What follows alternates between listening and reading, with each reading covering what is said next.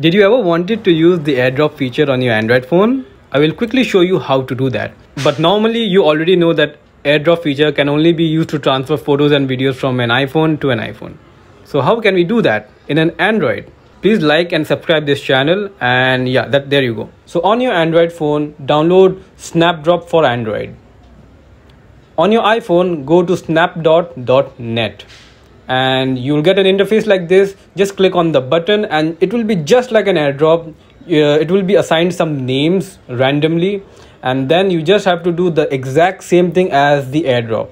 So this is how you transfer any photos any videos from an iphone to an android or an android to an iphone easily without wires just like airdrop. If you like this video kindly subscribe and that's one useful minute. I'll see you in next video